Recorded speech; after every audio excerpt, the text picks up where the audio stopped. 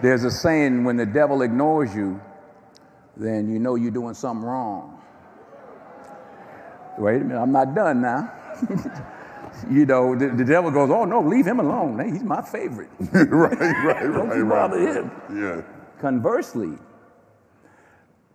when the devil comes at you, maybe it's because you're trying to do something right.